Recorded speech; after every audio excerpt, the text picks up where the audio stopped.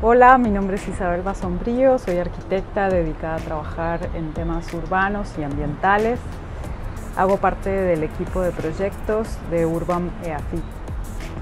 En este curso de verano de urbanismo social en tiempos de crisis, reflexionamos, entre otras cosas, sobre el crecimiento de las ciudades sobre la montaña y cómo eh, se pueden generar estrategias de anticipación y de mitigación con un enfoque de planeación y de ejecución diferente al del resto de la ciudad que garantice el acceso a la ciudad de una manera más segura.